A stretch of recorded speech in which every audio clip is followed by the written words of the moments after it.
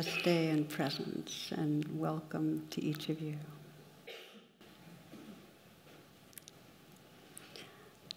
One of the themes that is pretty much in every talk is about the power and preciousness of presence.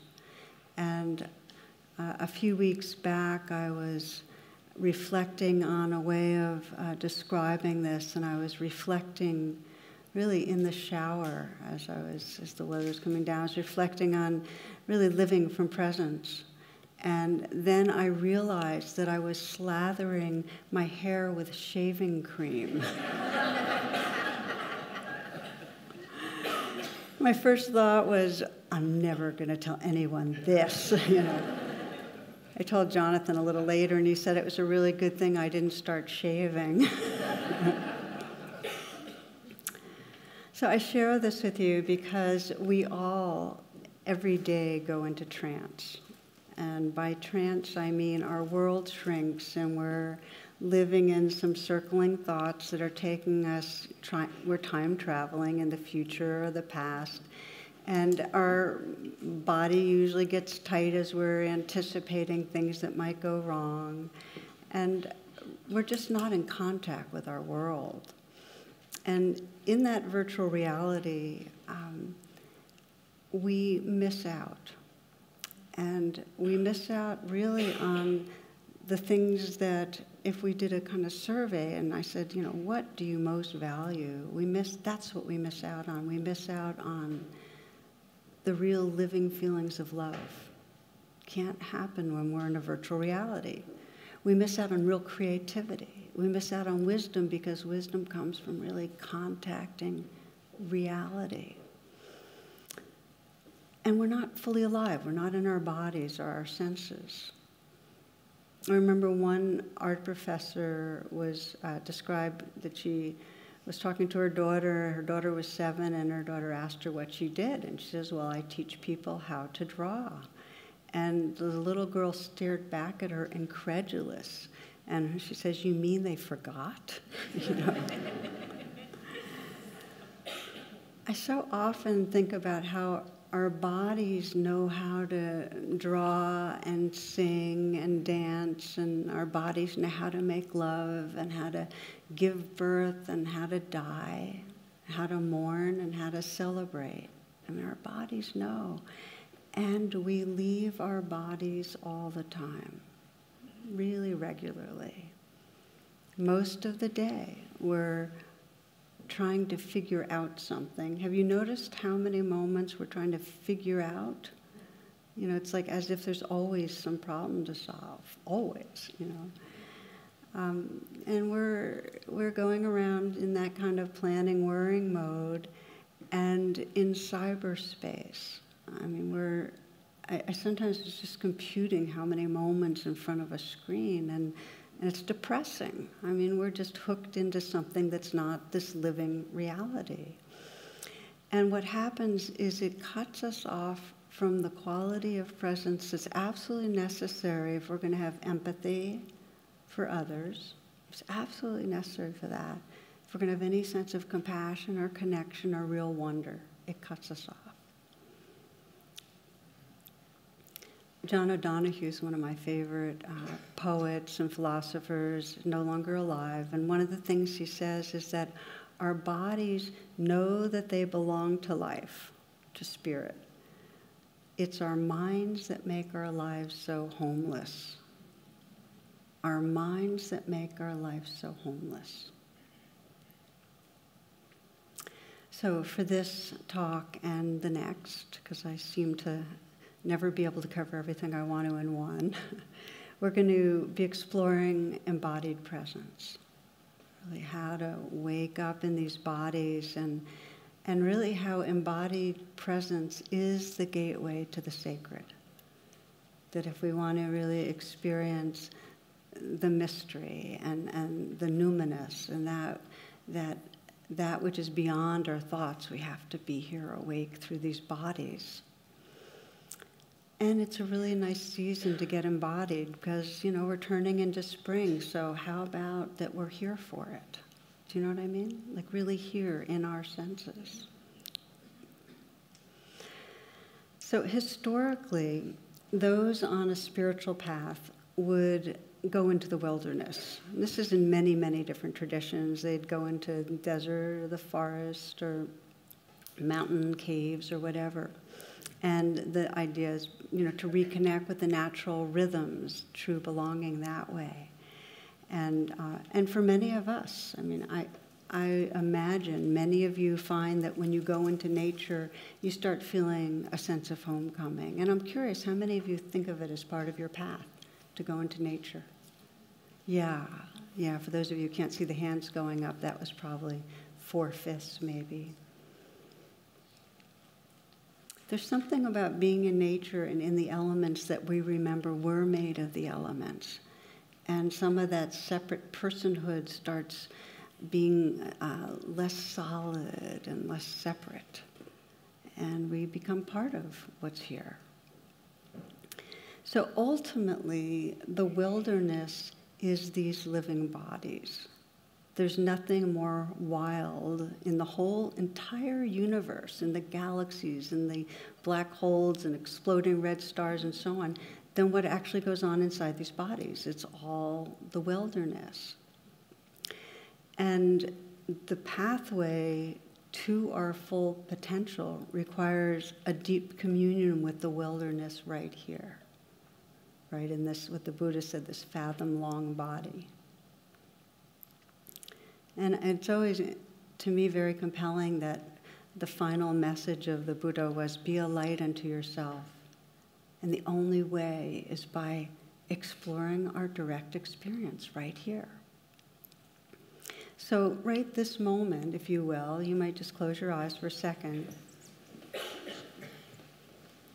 and notice how much you're aware of your body. And you might initially realize, oh, I was listening to words and I wasn't really, nothing in me was aware of my body, but start entering your body again. You might notice, can you feel the energy in your hands? You feel your feet. You feel your chest, your belly.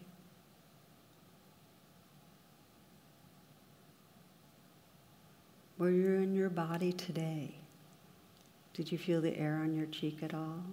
Or the feeling of the clothes on your body? Did you feel your breath at all today? Did you listen into the mood of your heart?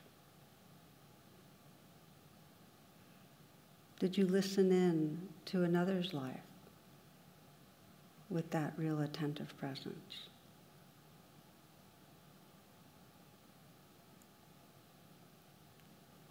One teacher advised, as his spiritual teaching, don't go far from the body. I'd like to invite you as you uh, participate, because really we're participating in these talks, checking things out, to keep 80% of your attention, 90% of your attention your body, and maybe 10% listening. And I promise you, you won't miss anything important. Promise. In fact, that's all I'm going to say tonight. okay, so you can open your eyes if you'd like, but notice as you open your eyes that you can still feel your feet on the ground and feel the weight of your body on the chair, pressure, warmth. Feel your hands. Stay. A little exposure to meditation lets us know pretty much right away the challenge of staying awake in our bodies. If you've meditated at all, you'll know that uh, we are very, very conditioned to exit over and over again. And the challenge for some people, it's simply, I just don't feel much from the neck down. I can't feel many sensations. And that might be because we've had trauma in our life or just because we're super mentally or oriented. For some people, really, no, it's very hard to feel sensations at all. For others, they can touch, but they can't stay. Others stay a bit but find all sorts of reactivity and judgment about what's going on. And some people try to get into their bodies and get overwhelmed and flooded and have a miserable time. So it's not so easy. And if you check, and I invite you to do it right now, again, just close your eyes. Ask yourself, what's between me and being at home in my body in this moment? At home in my body in this moment. And just check. Since you're, you're entering the wilderness, what's it like? Maybe you notice that there's something intense or unpleasant. Maybe you notice it's all changing.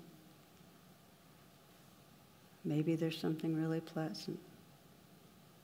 Can you sense how being awake in the body puts you in touch with that it's out of control?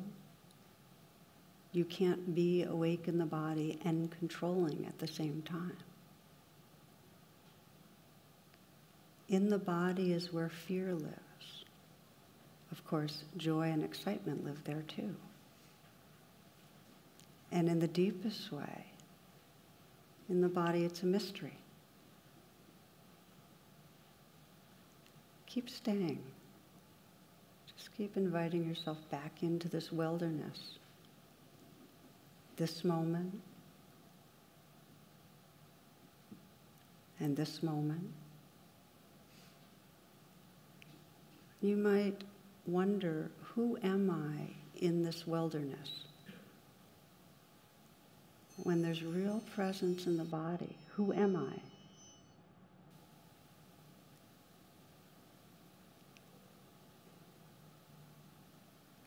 And if there's a lot of presence, you'll find there's no real answer. Because when we're really present in the body, all the ideas about a self are no longer, we're not living in those anymore. Now you can open your eyes if you'd like, or you can keep your eyes closed. But what many people find when they start really investigating sensing, well, what is between me and being at home in my body, is that it's pretty uncomfortable and disorienting because it's all out of control in there. It's like we have this mental control tower up here, and we're very used to living up here. But when we come down into the body, we can't control anything and it can feel really off balance and scary. And basically, the doing self is out of a job when we're embodied and present. Does that make sense? Just kind of look around a little. The doing self, okay, out of a job. It takes thinking to sustain a sense of self. And we like to hold on to that idea of a self. So one student um, decided, you know, he was going to really practice embodied presence through the day. He was going to stay in his body, and he just and he was monitoring and you know kind of worked pretty well in the subway. He was able to do that. Walks into his office, he's feeling himself walking, walking, walking, stepping, stepping. Um, first conversation, and he notices that he's you know off in his head, and that's fine. We have to think to be able to talk him. But even when the conversation was over, he was still running things. He tried to come back, it was much harder. The next conversation, he was in the middle of a conversation when the other person was talking. He thought, well, I could be in my body now. But he realized that he felt too much anxiety. He was so used to preparing what he was going to say back, he couldn't stay in his body. We all do that. We continually leave so that we can control things, prepare for things, figure out. And here's the deal we have to think a certain amount to successfully navigate our life, but we're addicted to it. We don't know how to turn, you know, push the button saying, okay, pause and be here. And as soon as we do, it feels vulnerable and agitating. Some of you might remember from James Joyce, Mr. Duffy lived a short distance from his body. Okay? And that's us. We kind of move around and we're up here in the control tower and we're so habituated to it. It's, you can sense it if you look back on today. How many moments did you spend embodied in your senses? Okay, so one very true and painful fact about our society and where it's going is that our children leave earlier and earlier. And um, now, statistically, they're indoors five to six hours a day behind a screen. One little story a little boy proudly announced in kindergarten that his cat, their family cat, has had kittens, and there were three males and three females. And uh, the teacher said, Well, how did you know? And the little boy said, Well, my daddy turned them over and the label's on the bottom. and we can sense how much real connection with the outdoors, with nature. 50% less time outdoors than, than the prior generation. 50%.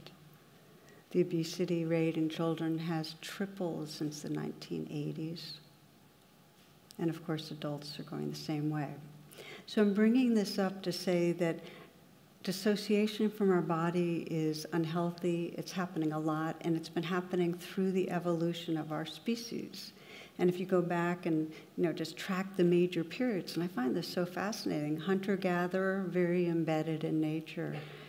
Agricultural, well, that's when humans started dominating nature and going by calendars and clocks and kind of being removed, you know, planning and thinking and living on that calendar time and kind of being, I'm me and I'm controlling the show and this is nature out here. And then industrial evolution and the whole, that whole era, which still exists, of course, removed even more from natural rhythms. And then technology, which keeps us plugged in, as we started earlier, right into that screen. And of course, it's taking away a lot of the jobs that have more hands on action because it's all artificial intelligence. Um, scary statistics 35% of all jobs disappearing by 2034. So we're living more and more in a virtual world. And that's the way it's going anyway, but how do we stay embodied so we're still connected with our heart and our values and our senses as the world gets increasingly into cyberspace? And one of the things that is most um, important to be able to see is that the more we separate from our bodies, the more we're in the chronic thinking mode, in the virtual reality, the more the shadow masculine comes out, which is that we approach the world through domination, mastery, and control, residing mostly in our head. And, and that's, in a global way, what leads to not taking care of this earth, thinking the earth is ours to exploit, or thinking animals are ours to eat and causing torment, or thinking other humans are less than us and violating them. So if you imagine somebody's really awake in their bodies, how are they going to treat other bodies and other animals in the earth with a lot more empathy? Bringing this into daily life, the moments that we're caught and lost in thinking and not in our bodies are moments when we're not able to be intimate with others. And I was thinking of myself a few weeks ago um, I was realized I was talking to my son, and as I was talking to him, I was deleting emails that I didn't need to deal with, and and realized that I really my my attention was really fragmented, and I had to ask him what he was saying a couple of times, and you know. I realized that my, my biggest regret when I die will probably be all the moments that I, in some way, multitasked and was caught up in my head rather than in my heart being with others. Of course, he only calls me when he's driving. I just have to balance it out a little bit.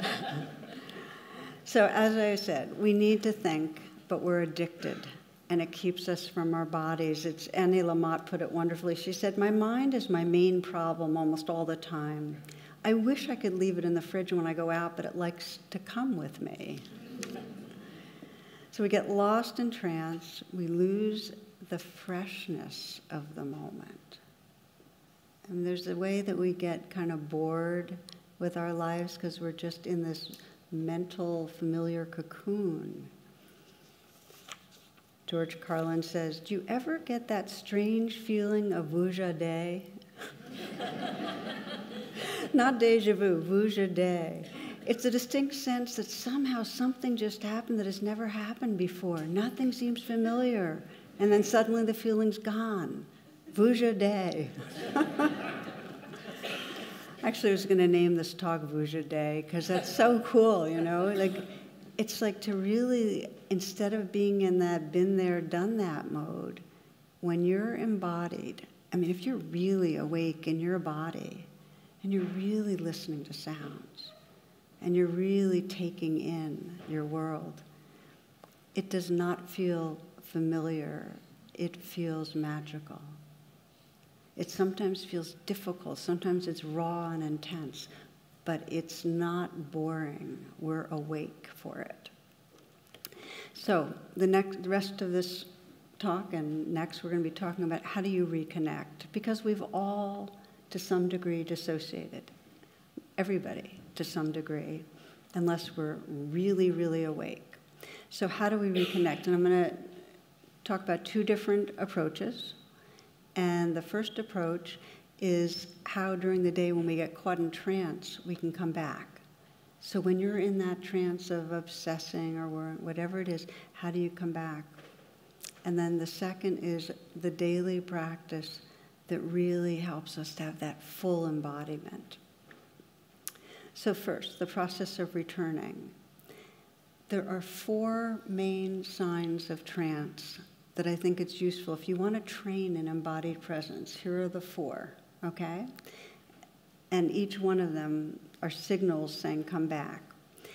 And before I name the four, just to say, when we're in trance, in some way we're avoiding being right here. So coming back isn't so easy because on the way back we have to touch what we've been avoiding. Does that make sense? That it's not so easy to come out of trance during our daily life because we're actually on purpose trying to get away from something vulnerable. So, part of the re entry is that very powerful question what is it I'm unwilling to feel? And I invite you to keep that in your mind as we go over these four main flags of trance. The good news is that even though we're kind of unwilling to feel something and in the habit of leaving, the more we practice coming back, the more our window of tolerance expands, and we actually can find ourselves feeling at home with the whole range of experience, which is freedom. That is the meaning of equanimity, that you can be with whatever. It allows you to feel what's called the lion's roar, which is one of my favorite um, kind of images from Tibetan Buddhism, the lion's roar is that confidence that no matter what comes up, you can hang out and be with it. It's workable. And the way that we develop that confidence by coming out of trance and being with what might feel edgy or uncomfortable. Okay, so here are the four. The first one should be familiar. It's obsessive thinking. When you find yourself going over and over and over again about the same theme. Anybody here? No, I won't even ask. you don't have to raise your hand. So it's repeating those cycling thoughts about what bad's going to happen and rehearsing and preparing. And there's that sense something around the corner is absolutely that we're, we're having to fend against. And um, the compulsive thinking we think is going to help us protect ourselves. That's what obsessive thinking is. We wouldn't do it if we didn't think it was really serving us. I, I like this little story that uh, was posted. This is actually a posting in a national park where the rangers were, you know, telling hikers to be, uh, you know, aware, alert of bears and take precautions to avoid an encounter. Just like we're thinking we're taking precautions with our obsessing to avoid something bad. So here's what they advise park visitors. They say wear little bells on their, your clothing so they make noise when you're hiking. And carry pepper spray just in case a bear is encountered. Okay, obsessing. What should I do? What should I do? And they say keep your eye out for fresh bear scats. You have an idea if there's bears in the area.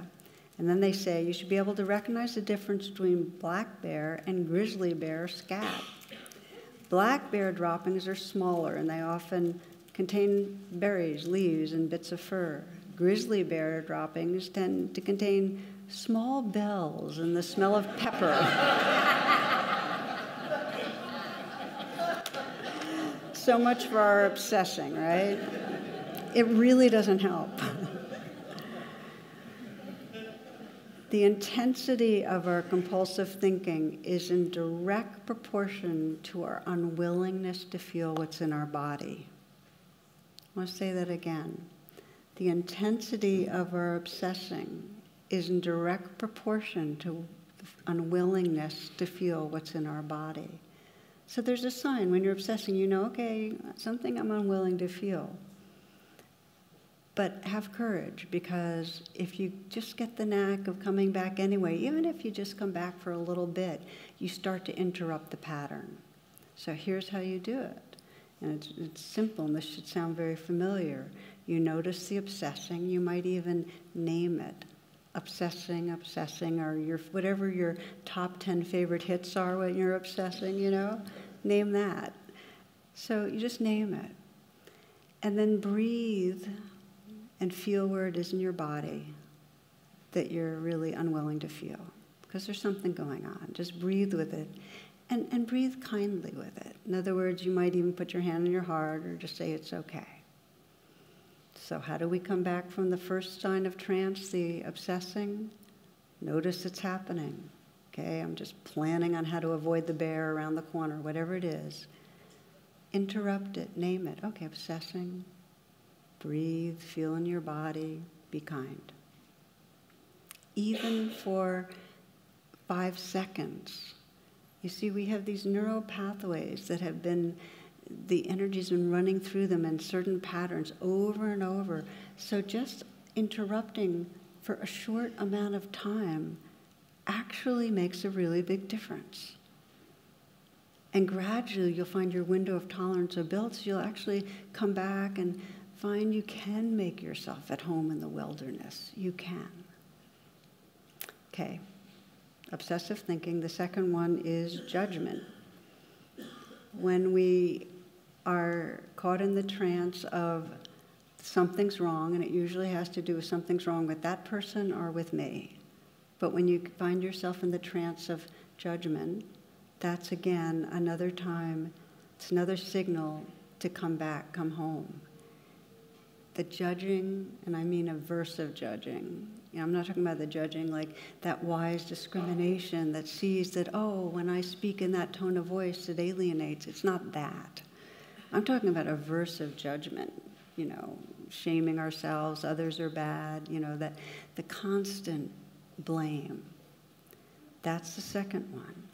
And again, those are very deep neural pathways, the judging mind to be able to interrupt and come back to your body is one of the most liberating pathways you can find. So have that intention when you notice you're judging to go, okay, interrupt. Judging, name it. Breathe, come into the body, and with kindness feel, what, feel what's under it.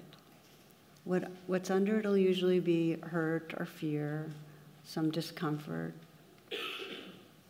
Okay?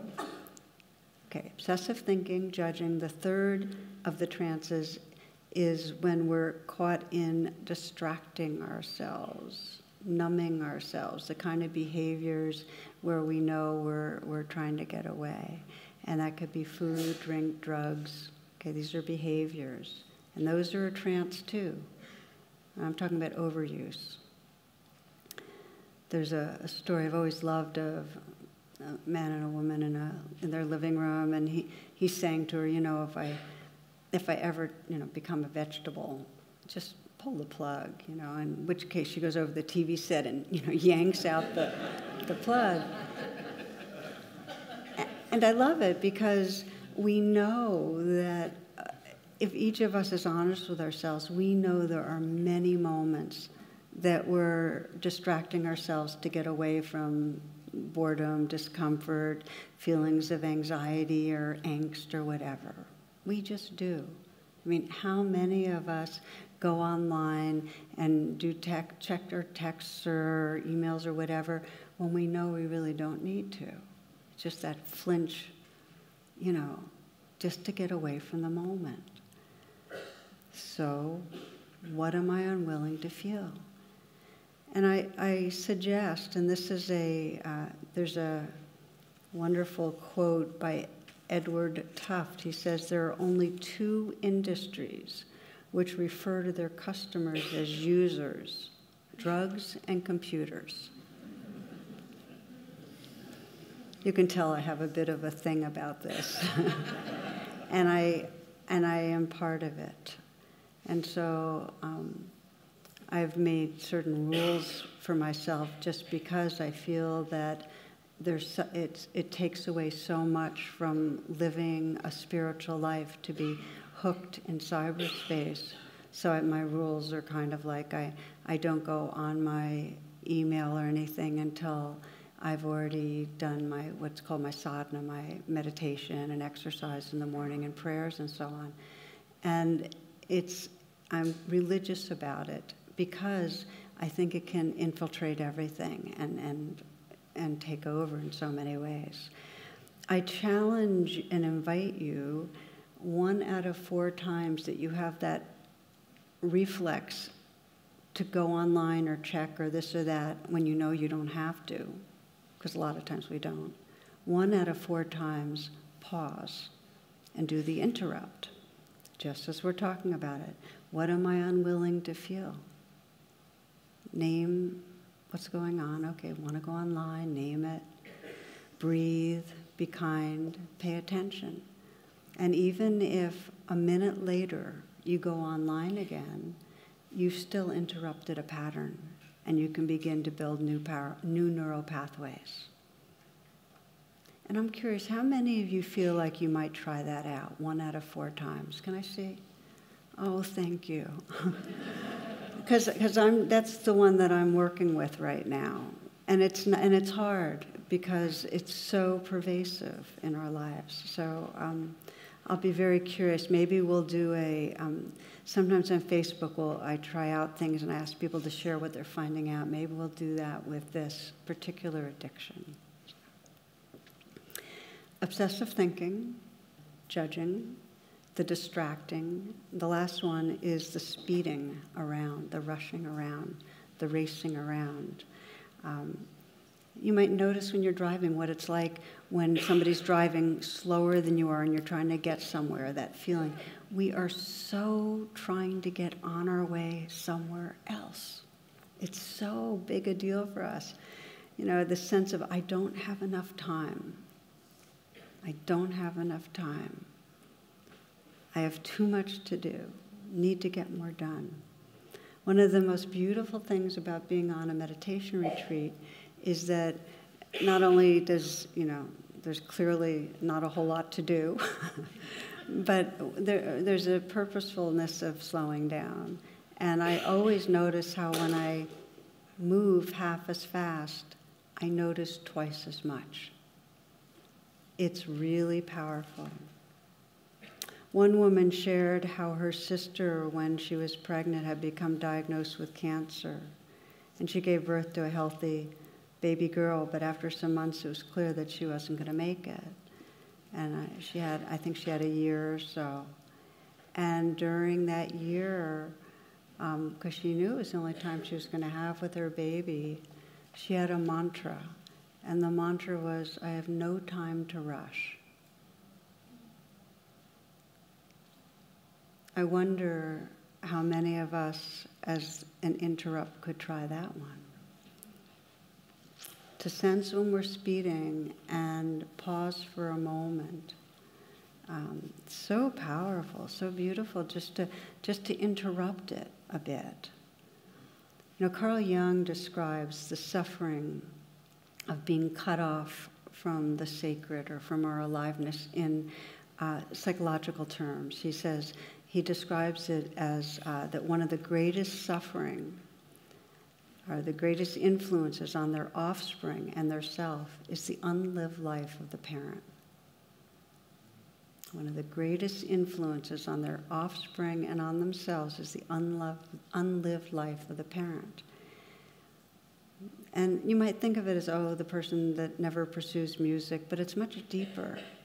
The unlived life is the life that's like racing across the surface and never arriving, never dropping in to feel the passion or the loneliness or the tenderheartedness or the soul or the wonder on our way somewhere else.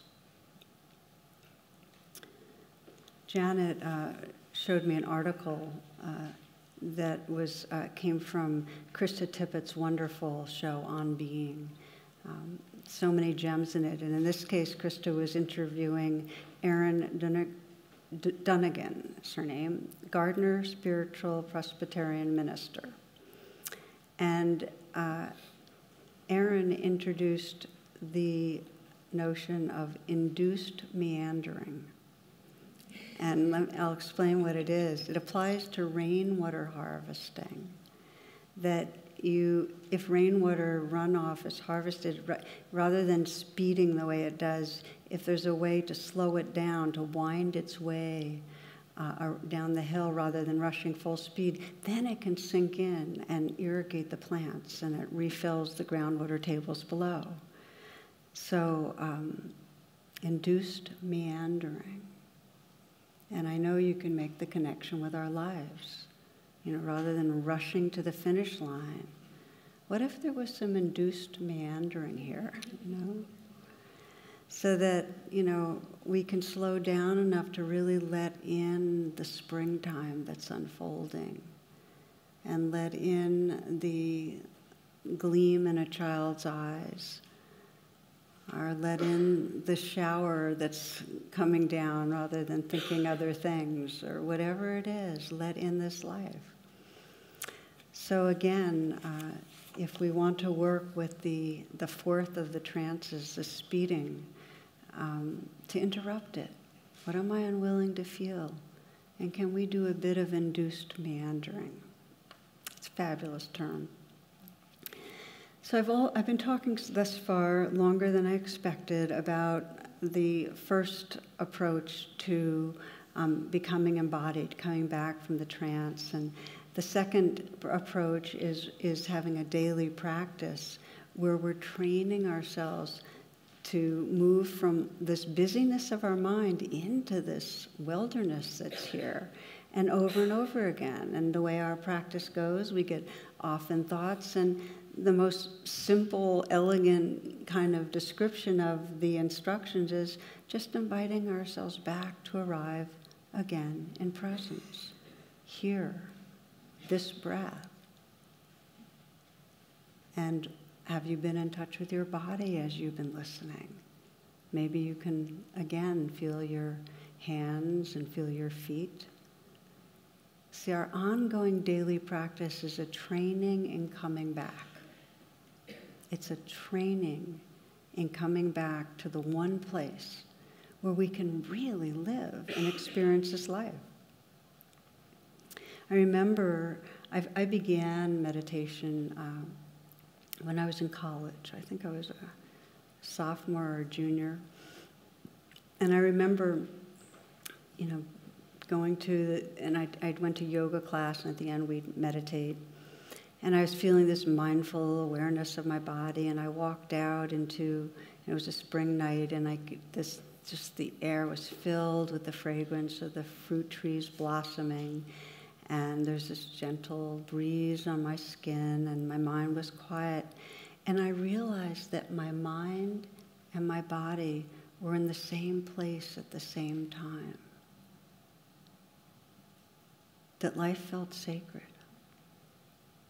and that I hadn't had that experience before my mind and my body in the same place at the same time. So that was now 47 years ago. And I can say to you that the most recurrent realization I have in meditation practice is the preciousness of coming back to this wilderness right here, that it really is the pathway to the sacred. From the poet Kabir Inside this clay jug, there are canyons and pine mountains, and the maker of canyons and pine mountains. The God whom I love is inside.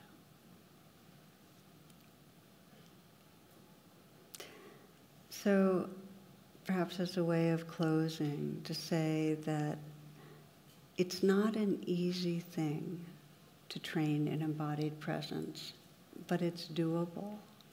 The more we've been wounded, the more we have physical pain, the more challenging it is. In the next class, we're going to address how to work with being in a body that's really uncomfortable. It doesn't feel like canyons and pines and bliss. It feels like yucky and I don't want to be here. And yet, what motivates us is that there's something in us that wants to live fully and love fully and experience the sacred and that we know that we have to come back and reconnect to do that. D.H. Lawrence writes this. He says, when we get out of the glass bottles of our ego and when we escape like squirrels turning in the cages of our personality and get into the forests again, we will shiver with cold and fright, but things will happen to us so that we won't know ourselves. Cool, unlying life will rush in, and passion will make our bodies taut with power. We shall stamp our feet with new power, and old things will fall down. We shall laugh, and institutions will curl up like burnt paper. It's freedom. The, the old things, the institutions, the cages dissolve when we start to open into this living body and discover the presence that's possible. So, with that, we'll take a few minutes to close uh, in an embodied way. I invite you to close your eyes and come into stillness. This will be short, but give you a taste of the simplicity of our practice.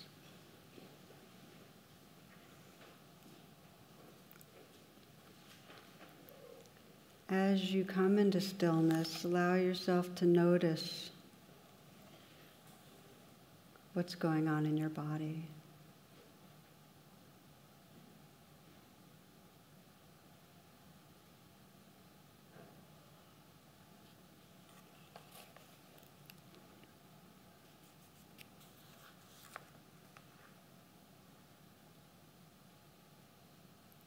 Imagine and sense that you can just allow the awareness to descend and fill your body. Let your shoulders fall away from the neck and feel inside your shoulders. Maybe there's tightness or tension. And sense that you can let that float a little in awareness softening, letting go.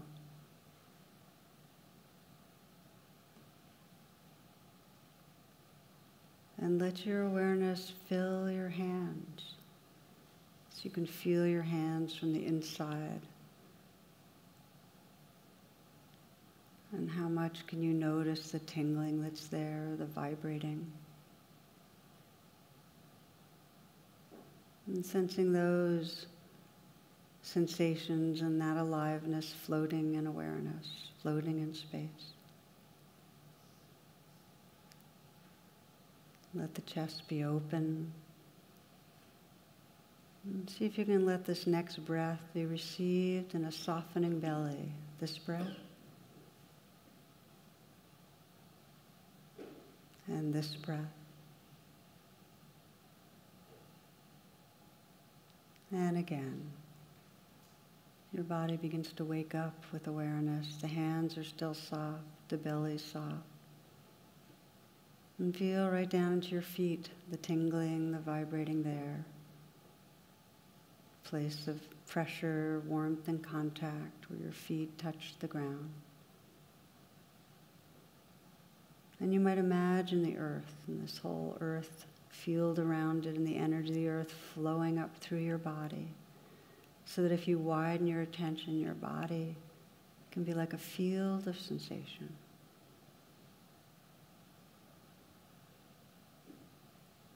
Tingling, vibrating, alive.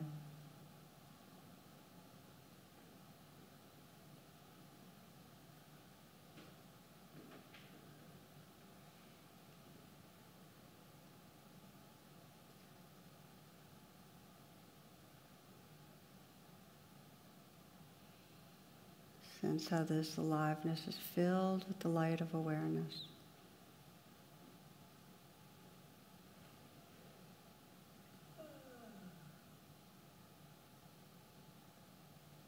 And sense how much you can relax and let go into the aliveness.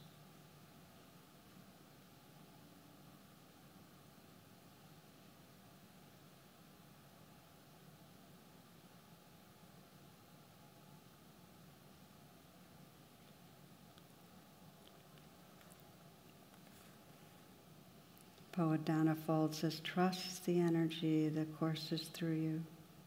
Trust. And then take surrender even deeper. Be the energy.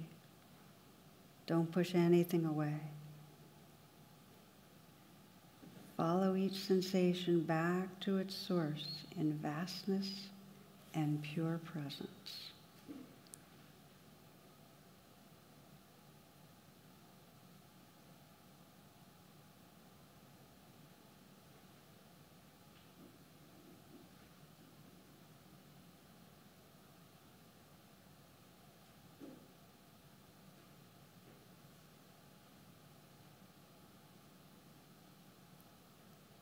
our pathways to make ourselves at home more and more in this wilderness, this aliveness, this portal to presence.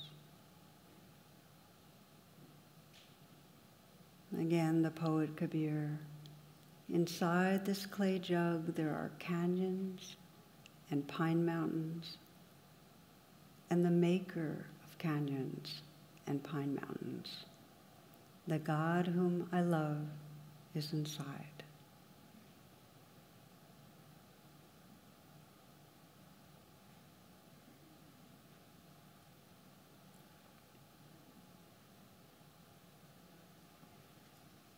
Namaste, and thank you for your presence and attention.